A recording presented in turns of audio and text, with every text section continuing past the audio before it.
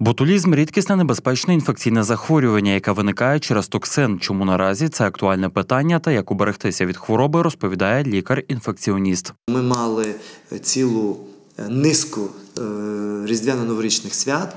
Вони далі продовжуються, і е, наші краяни із-за столу не встають на сьогоднішній день, тобто продовжують святкувати. Дуже часто до святкового столу ми подаємо різні продукти, які заготовлюємо навесні або влітку. Ну, Мова йде про е, закладування, так би мовити, замариновані е, помідори, там огірки, гриби і так далі. Найчастіше хвороба передається через харчові консервовані продукти, такі як м'ясо та риба та овочі. Бактерії розмножуються в безкисневому стані, тому консерви є ідеальним середовищем для них. Віктор Петров розповідає, як розпізнати заражені продукти.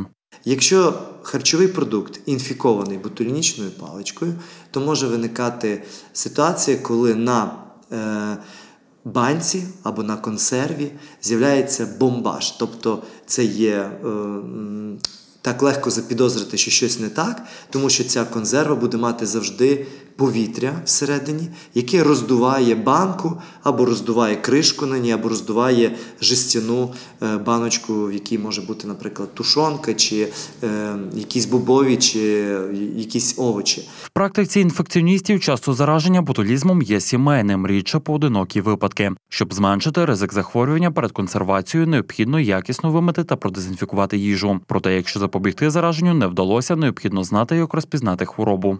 Найпершим симптомом вони подібні до диспепсії, тобто може бути відчуття нудоти, відчуття е, блювання, тобто може виникнути блювання, може виникнути ознака е, харчового отруєння. А вже далі, по мірі всмоктування цього токсину, відбувається прояв е, клініки, яка е, має так звані 3D. Це дизартрія, коли людина не може правильно говорити, в неї порушення мови.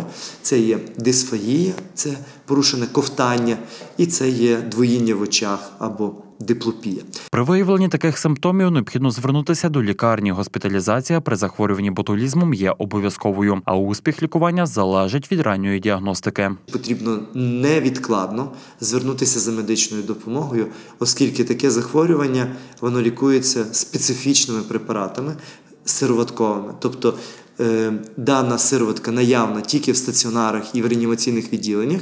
В нашому випадку це буде в інфекційній лікарні, так звана протибутулічна сироватка.